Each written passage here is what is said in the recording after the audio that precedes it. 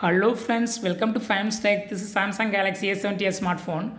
In this video, you'll learn how you can remove Google account from your device Samsung Galaxy A70s.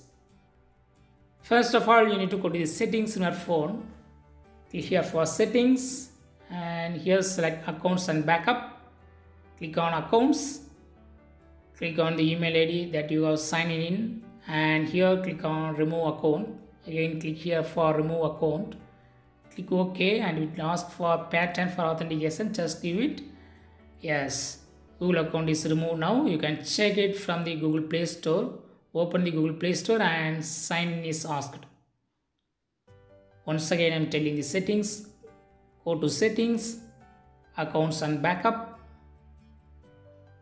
Accounts and backup. Click on accounts and select the account. Now you can add freshly any new account in this way, you can easily remove Google account from your device Samsung Galaxy A70s. That's